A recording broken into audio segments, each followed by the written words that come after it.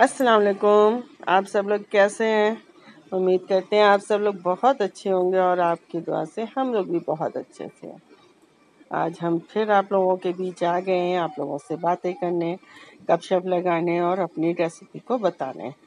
अगर हमारी आपको रेसिपी पसंद आए तो आप लोग इसे लाइक करिएगा शेयर करिएगा और इसको सब्सक्राइब करने के बाद बेल आइकन को ज़रूर दबा दीजिएगा ताकि आप मेरी नोटिफिकेशन आपको पहुँचती रहे।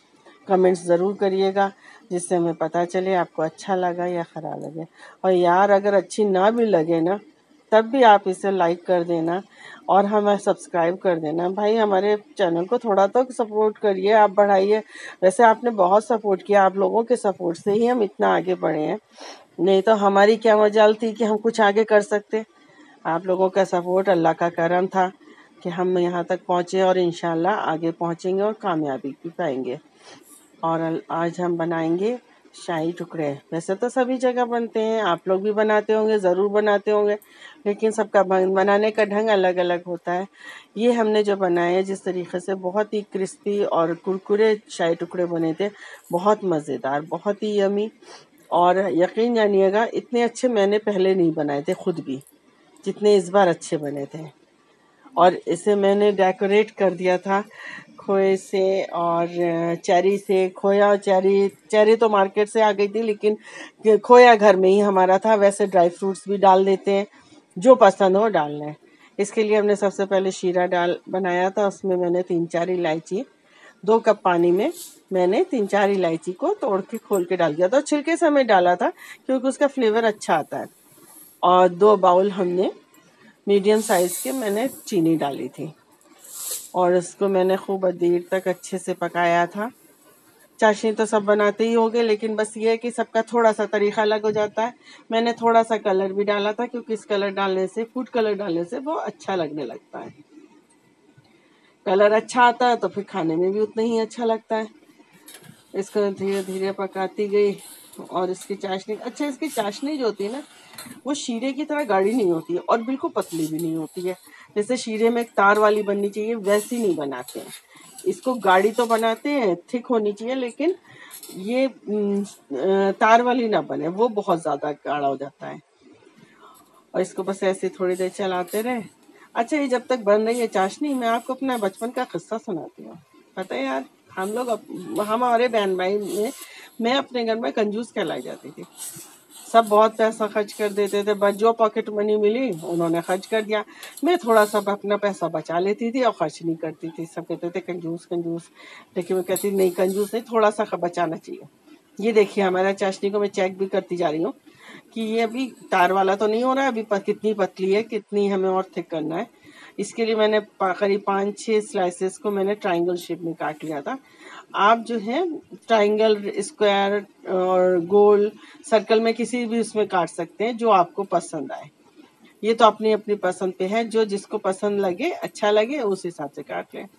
अच्छा तो फिर मैं किस्सा सुनाती हूँ। ऐसा हुआ कि मेरे पापा के साथ हम लोग एक बार घूमने गए थे आउट ऑफ़ सिटी इलाहाबाद के बाहर एक जगह है प्रतापगढ़। वहाँ गए थे। तो पूरा रास्ते भर इंजॉय किया, खाया, पिया, ऐश करा। वहाँ पे पापा मेरे लॉयर थे। उन्होंने अपना काम किया। हम लोग फ़िल्म वगैरह देखते रहे। लौटने लगे। फिर, वहाँ पर स्टे भी किया था हम लोगों ने एक अच्छे से होटल में। फिर जब लौटने लगे तो हम लोगों ने रास्ते में से खाना खाया ढाबे पर। तो जब खाना ना खा लिया तो लास्ट लास्ट में हुआ कि मीठा खाना है तो रसगुल्ले आए सबके लिए। तो हर प्लेट में दो दो थे। तो मैंने अपने पापा को बोला, मैंने, पापा ऐसा करिए, आप सिर्फ़ एक प्लेट मंगाइए। हम लोग उस, एक प्लेट मंगाइएगा और मैं और मेरी सिस्टर मैं सिस्टर और मेरे भाई बहन वगैरह गए हुए थे। मेरी सिस्टर एक भाई गया था। तो हमने कहा, हम आपस में शेयर कर लेंगे। एक प्लेट में हम कर लेंगे, एक प्लेट में दूसरा कोई कर लेगा, ऐसे करके।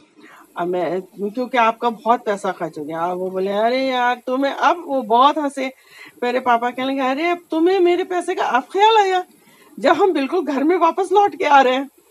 और उस बात का मज़ाक हमारे घर में आज भी लोग मेरा उड़ाते हैं। हम आज इतने टाइम गुजर गया है, लेकिन सब मज़ाक बनाते हैं कि तुम तो कंजूस थी कि एक प्लेट के रसगुल्ले को शेयर करवा रही थी सबको। अच्छा जी, हम अब उसमें अपनी रेसिपी तो बता ही नहीं रहे। हमारा शीशा, शीरा तो तैयार हो गया था। अब हम ब्रेड को अपने घी में फ्राई करेंगे। और इसको हम घी में ही फ्राई करेंगे क्योंकि ये रिफाइंड में या किसी और ऑयल में उतना टेस्टी नहीं बनता। आप घी लीजिए और देसी घी ही ज़्यादा अच्छा होता है। अगर नहीं है तो आप किसी और में कर लें, वो बात अलग है, लेकिन मज़ेदार देसी घी में ही बनते हैं। और इसको जो ब्राउन करना है, वो हल्का ब्राउन करना है। ज़्यादा डार्क ब्राउन नहीं करना है और ना ही बिल्कुल हल्का करना है। डीप फ्राई करिए, वो ज़्यादा अच्छे होंगे।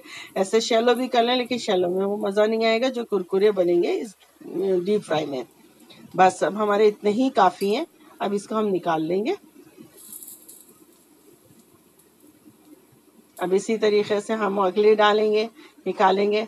शीरा हम पहले ऑलरेडी तैयार कर चुके हैं, जो कि ना कि ज़्यादा गाढ़ा है और ना ही बहुत पतला है।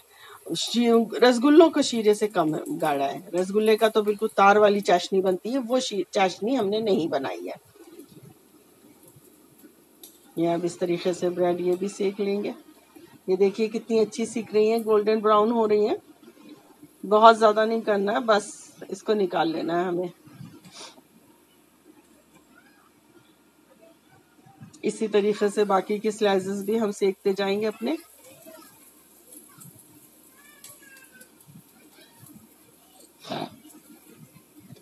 ये देखिए, सब हल्के हल्के सेक रहे हैं। अच्छा ये मीडियम फ्लेम में सेकिएगा, ना कि बिल्कुल हल्की हो, और सिम पे भी नहीं करिएगा और बहुत तेज पे भी नहीं। तेज पे तो करेंगे तो बिल्कुल बेकार हो जाएँगे, जल के, क्योंकि स्लाइस वैसे ही जल्दी सीखते हैं। तो आप मीडियम फ्लेम में भी, कम मीडियम फ्लेम पे रख के इसको सेकिएगा। बस अब हमारे हो गए इसको तो निकाल लेंगे हम।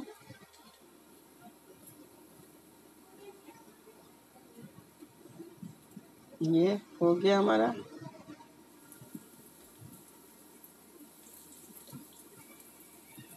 इसी तरीके से बचे हुए जितने भी स्लाइसेस हैं, वो हम सेकते जा रहे हैं, ताकि सब एक साथ जब सीख जाएँगे, फिर हम इसको इसमें चाशनी डालेंगे।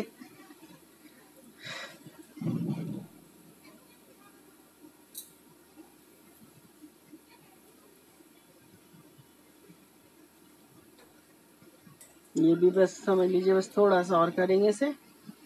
बस थोड़ा सा अब हम निकाल लेंगे इसे भी। हल्के ब्राउन ज़्यादा अच्छे होते हैं और ये जितना, ये डीप फ्राई होने की वजह से घी में फ्राई होते हैं तो कुरकुरे भी बहुत होते हैं। शीरा पड़ने के बाद भी बहुत कुरकुरे होते हैं। अब देखिए मैं इसमें चाशनी डालूँगा। ये डेकोरेट करने के लिए मैंने चेरी रखी थी और ये खोया है। खोया मैंने घर पे ही निकाला था। खोया तो जानते हैं रेसिपी कितनी इजी तरीके से निकलता है, बस आपको दूध को गाढ़ा करते रहना है। ये देखिए शीरा हम ऊपर से डालेंगे हम शीरे में डिप नहीं कर रहे हैं, हम ऊपर से डाल रहे हैं, ताकि बहुत ओवर भी ना हो, और जितना हमें ज़रूरत है, वो सब उसको एब्जॉर्ब कर ले सारे ब्रेड्स ये देखिए। हम ध्यान रखेंगे इस बात में कि कोई सूखा ना रह जाए। कहीं पे अगर रह जाएगा तो फिर वो, उसमें टेस्ट मीठा नहीं जाएगा सही तरीके से।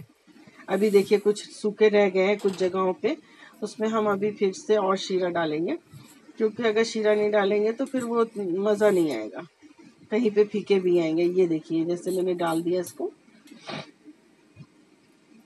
और ये पर यार, पता है, जब बनाया था मैंने, उसके आधा घंटे बाद ही सब खत्म।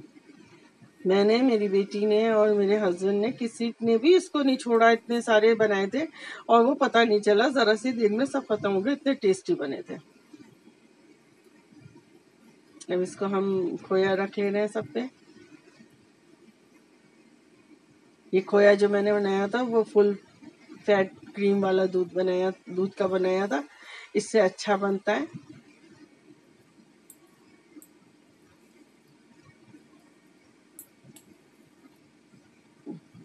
ये सब पे ऐसे रख लेंगे।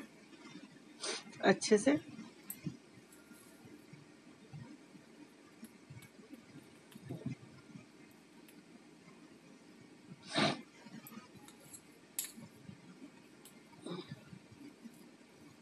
अब इसको सब इक्वली स्प्रेड कर देंगे।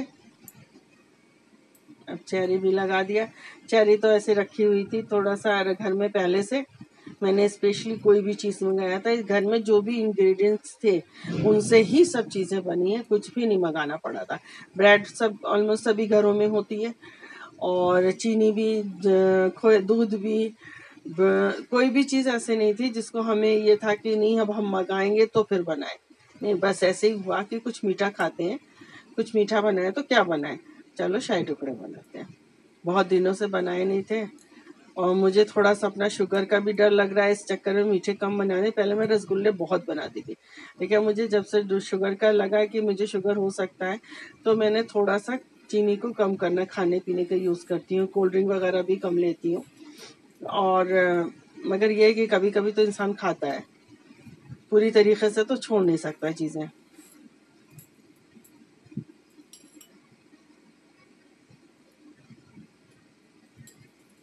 अब हमने खाने के लिए कर निकाल रहे हैं। इतना लाजवाब बना है, बस बता नहीं सकती मैं। आप प्लीज़ इसको एक बार ज़रूर आप लोग बनाइएगा इसी ढंग से। और इसी ढंग से खाइएगा। आप चाहें तो थोड़ा सा ड्राई फ्रूट्स भी वगैरह भी डाल सकते हैं। लेकिन यह है कि इसको इतना भी डालेंगे तो काफ़ी है और मगर ये बहुत टेस्टी बना था। बहुत ही अच्छा।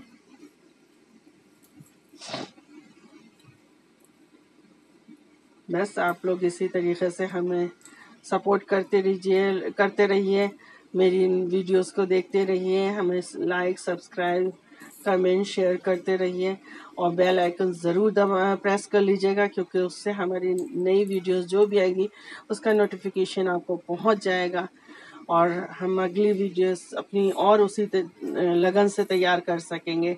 तब तक के लिए हम आपसे चाहते हैं इजाज़त, अल्लाह हाफिज़।